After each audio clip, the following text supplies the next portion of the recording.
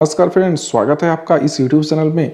तो second batch यानी कि यूपी पुलिस उनचास पाँच सौ अड़सठ के जो सेकंड बैच वाले अभ्यर्थी हैं सेकंड बैच वाले जो बैच के बच्चे हैं, उनके लिए बहुत बड़ी खुशखबरी है। बता दूँ, आपका ऑफिशियल नोटिस जारी हो चुका है। आपका मेडिकल स्टार्ट कब से होगा, उसके लिए बता दिया गया कि आपका मेडिकल कब से होगा, आपकी जेटीसी कब से होगी, आपका आरटीसी कब से होगा। ठीक है सारी चीज़ें इसमें बता दिया गया कि आपका जे टी और आपका मेडिकल परीक्षण कब से स्टार्ट होगा सारी चीज़ें बताई गई हैं। आपके कितने बच्चे जाएँगे इसमें ये भी बता दिया गया है। तो इसमें कोई भी आपको टेंशन नहीं लेना है। ये बिल्कुल ऑफिशियल नोटिस है इसके लिए आपको भी, भी टेंशन नहीं लेना है कि नोटिस फेक हो ऐसी कुछ ऐसा कुछ भी नहीं है। नोटिस बिल्कुल ऑफिशियल है बिल्कुल फाइनल नोटिस है। जैसा कि आपको बता दें इसके पहले मैंने एक वीडियो दिया था जो कि आपका पुलिस की फाइनल पीओपी का डेट जो आ गई थी तो इसके लिए मैंने आपको दिया था कि आपका जो फाइनल जो पीओपी ग्यारह मई को है, इसके बाद आपका जो मैंने वीडियो आपको बता दिया था कि ग्यारह मई का आपका जो पुलिस का फाइनल पीओपी है, इसके बाद से जो, उसके पहले पहले आपका मेडिकल हो जाएगा तो जी, बिल्कुल पहले ही हो रहा कब से हो रहा है, वो डेट मैं इस वीडियो में बताऊँगा। और आपका जो जेटीसी कब से स्टार्ट होगा आरटीसी कब से स्टार्ट हुआ और कितने बच्चे जाएँगे, वो सब कुछ मैं इसी वीडियो में बताऊँगा तो बिल्कुल भी आपको टेंशन लेने की ज़रूरत नहीं है। वीडियो को शुरू से लेकर लास्ट तक देखिएगा वीडियो पसंद आए तो वीडियो को लाइक ज़रूर कीजिएगा। लाइक करने के साथ अपने दोस्तों के साथ शेयर भी कीजिएगा। और चैनल पर पहली बार विज़िट कर रहे हो चैनल को अभी तक सब्सक्राइब नहीं किया है तो प्लीज़ लाइक कीजिए सब्सक्राइब कीजिए चैनल को सब्सक्राइब करने के साथ साथ इस फैमिली से जुड़ जाइए। बेलाइकन भी ऑन कर लीजिए, ताकि जब भी लेटेस्ट वीडियो अपलोड की जाए तो उसका नोटिफिकेशन भी आप तक पहुँचता रहे। ठीक है फ्रेंड्स चलिए स्टार्ट करते हैं आज की वीडियो और नोटिस मैं दिखाता हूँ नोटिस दिखा करके आपको सारी चीज़ें क्लियर कराता हूँ। तो ये मैंने थोड़ा सा इसको जूम कर लिया। अभी आपसे देख पा रहे हैं जो पेज है सेकंड पेज का आपका नोटिस है। इसमें सब कुछ आपके लिए बताया गया है कि क्या क्या है, सब चीज़ मैं आपको दिखाता हूँ। कि यहाँ पे देखिए, आपके पत्र संख्या पी आर पी बी एक, जो ये आप यहाँ से खुद से पढ़ सकते हैं। दिनांक अट्ठाईस अगस्त 2020 द्वारा आरक्षी नागरिक पुलिस एवं आरक्षी प्रादेशिक आर्म्ड कांस्टेबलरी के पदों पर सीधी भर्ती अक्टूबर 2018 के अंतर्गत चयनित अभ्यर्थियों में से प्रथम चरण हेतु नागरिक पुलिस के चौदह हज़ार अभ्यर्थियों का चयन परिणाम दो प्रतियों में उपलब्ध कराया गया था। तदक्रम में चयनित अभ्यर्थियों का संबंधित जनपदों द्वारा अग्रतर कार्यवाही करते हुए उपयुक्त अभ्यर्थियों का आधारभूत प्रशिक्षण तीन ग्यारह से प्रारंभ है। आधारभूत का मतलब जो है आपका आरटीसी।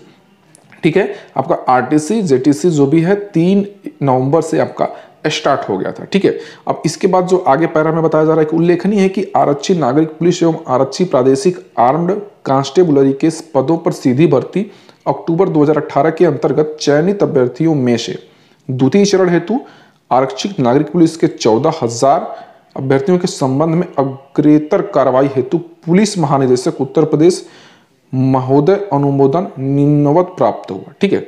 ये जो है अनुमोदन है पुलिस महानिदेशक के द्वारा प्राप्त हुआ है, जो कि अब इस बार भी कितने बच्चे जाएँगे? यहाँ से आपका क्लियर करा रहे हैं कि चौदह हज़ार बच्चे भी इस बार भेज जाएँगे। पहले बैच में आपके कितने गए थे? चौदह के। सेकेंड बैच में कितने भेज रहे हैं? चौदह के। वीडियो इसके लिए बहुत सारी आपको मिली थी कि चौदह के बच्चे नहीं जाएँगे, इसमें पूरा बच्चे जाएँगे, जितने भी है, पैंतीस के, पैंतीसों हज़ार जाएँगे। लेकिन ऐसा नहीं हुआ। भर्ती बोर्ड का डिसीज़न कोई नहीं जानता कि कब कैसा डिसीज़न हो। फिर भी इस बार भी उन्होंने चौदह के का निर्णय लिया है। और ये जो निर्णय है, इस बार चौदह के बच्चों का सिविल पुलिस, यानी कि जो हमें नागरिक पुलिस का वैकेंसी में नागरिक पुलिस की जितनी संख्या थी, उसमें से फिर से सिविल पुलिस को ही बुलाया गया है। अभी भी जितने पी एस सी कैंडिडेट हैं पी एस सी कैंडिडेट हैं, उनके लिए भी कोई भी विचार नहीं किया गया है। तो आप लोग जो अपना धारणा है, अपना जो आप ट्विटर अभियान है, उसको बंद नहीं कीजिएगा। ट्विटर अभियान को जारी रखिएगा, जिससे कि और भी जल्दी परिणाम इसमें आपका पॉजिटिव देखने को मिलेगा। क्योंकि आपको पता है कि आपके पास जो भर्ती बोर्ड है, उसके पास ट्रेनिंग कराने की क्षमता तेईस से ज़्यादा है। बट फिर चौदह हज़ार बुलाने का क्या मकसद है, वो कुछ समझ नहीं आ रहा, ठीक है? तो बच्चों के साथ फिर भी नाइंसाफी हो रही है, पर फिर भी बहुत खुशखबरी की बात है कि कम से कम चौदह हज़ार बच्चे, हमारे चौदह हज़ार भाई बहन दोबारा फिर उनका जो है मेडिकल कराया जाएगा। ठीक है? और बाकी जो बच्चे हैं, उनके लिए अभी थोड़ा सा दुख वाली बात है कि उनका अभी जो वेटिंग टाइम है, वो ज़्यादा हो गया है, ठीक है? आगे जो इसमें और बताया जा रहा है, मैं आपको वो दिखा के सारी चीज़ें क्लियर पहले करा लूँ कि चिकित्सा परीक्षण या सत्यापन जो होता है, वो तीस तीन इक्कीस, यानी कि तीस मार्च से प्रारंभ होने का इसमें डेट दे दिया गया है। और इसमें आपका जेटीसी जो जेटीसी है, वो जेटीसी के लिए आपको यहाँ पे डेट दिया गया है। सत्रह मई से आपका जेटीसी प्रारंभ हो जाएगा। इसके बाद जो है आपका जो आरटीसी है, जो आधारभूत इसका प्रशिक्षण है आरटीसी वो चौदह जून से प्रारंभ होगा। यानी कि आपका मेडिकल तीस मार्च से स्टार्ट होगा। इसके बाद आपका जो जेटीसी है वो सत्रह मई को आपका जेटीसी हो जाएगा ज्वाइनिंग आपको करा दिया जाएगा। इसके बाद है आपका आधारभूत यानी कि आरटीसी वो जो आपका है 14 जून से स्टार्ट होगा। ये सारी चीज़ें इसमें बता दिया गया है। आगे जो इसमें है, वो क्या बताया जा रहा है, मैं आपको बता दूँ पैरा सेवन में।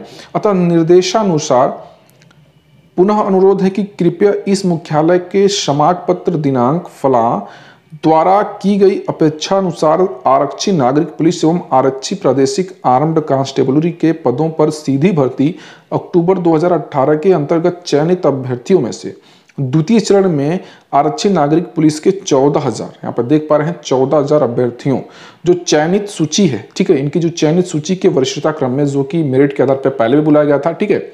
मेरिट बेसिस पे पहले भी बुलाया गया था और दोबारा भी फिर क्या बता रहे हैं कि दोबारा फिर उनके मेरिट के जो बेसिस पे उनको दोबारा बुलाया जाए, ठीक है?